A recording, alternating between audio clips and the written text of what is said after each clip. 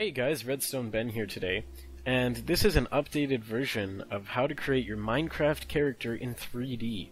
So in this version, we're going to be using a website called Nova Skins, which I'm sure you might have heard of. So I'm going to do an in-depth tutorial on how to use this website. Now by using this website, we can create something like this with your 3D character in Photoshop. We can then resize your character, use it for your YouTube channel, for your Let's Plays, for anything you want to do. So, let's get started.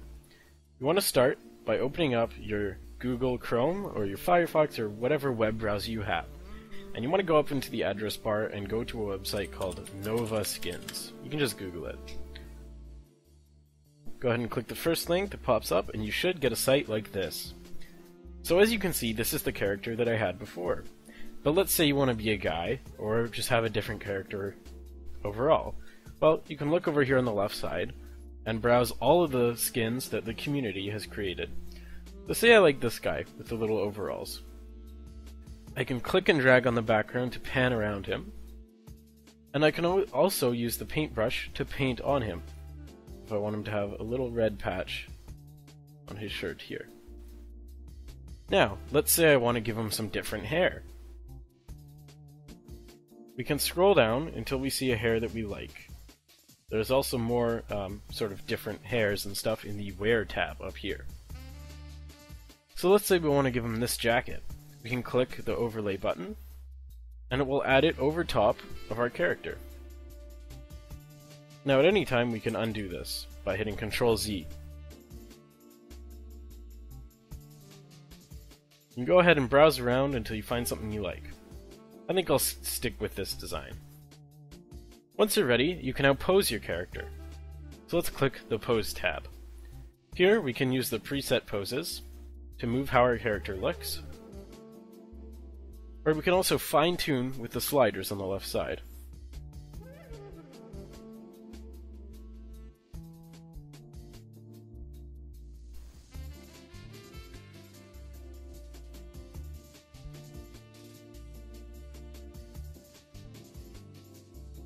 Once we have something we like, well, I, I kind of like this guy. He's pretty funny looking. Looks like he's, you know, dancing or something.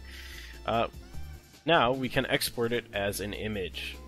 So, to do this, we can either click the Save button or the Photo button. I'm going to click the Photo button, which will generate the photo of my character. Now you want to right-click on the image, and click Save Image As. Once it's opened, you can call it whatever you want. Let's call it Minecraft character. We're going to save it to our desktop, as you can see down here. Now we're going to open up our Photoshop. You can also use Paint or Paint.net, GIMP, anything that you like to edit photos.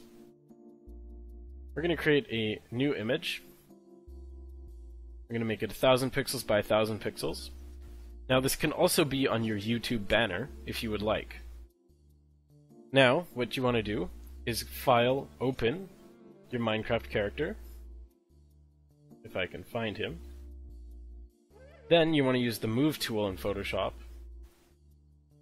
and you want to drag your character over into your image.